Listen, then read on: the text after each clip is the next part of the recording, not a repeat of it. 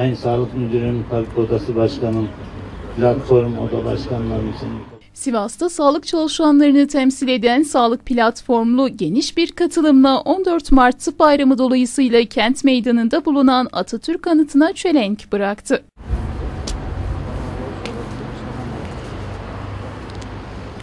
Program saygı duruşunda bulunulması ve İstiklal Marşı'nın okunmasıyla devam etti.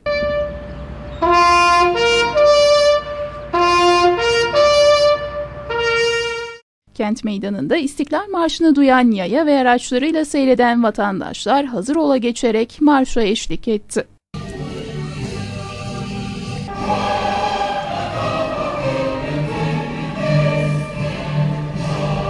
İstiklal Marşı'nın bitmesiyle Sivas'ta hayat normale döndü. ilk günün ilk etkinliğinde e, hepinizi burada görmekten mutluluk duyuyoruz. Programda platform sözcüsü Tabipler Odası Başkanı Doktor Ömer Faruk Güzelim Dağ'ın basın mensuplarına açıklamalarda bulunmasıyla sona erdi. İkincisini kutlamak üzere bir araya geldik.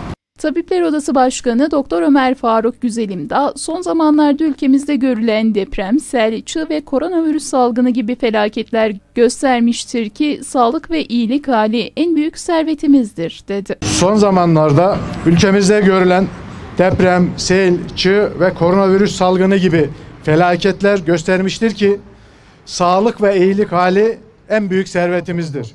Bu gibi zorlu durumlarda sağlık çalışanları hep ön safhalardaydı diyen Güzelim Dağ, koronavirüs salgınında insanlarımız günlerce evlerinde izinli olduğu dönemlerde bile sağlık çalışanlarımız bırakın dinlenmeyi sürekli artan iş yüküyle aylarca salgınla canla başla mücadele etmiş ve koronavirüsün ülkemizde daha büyük felaketlere yol açmaması için gece gündüz hafta sonu demeden kanter içerisinde çaba göstermiştir ve göstermeye devam ediyor dedi. Bu gibi zorlu durumlarda sağlık çalışanları hep ön saflardaydı.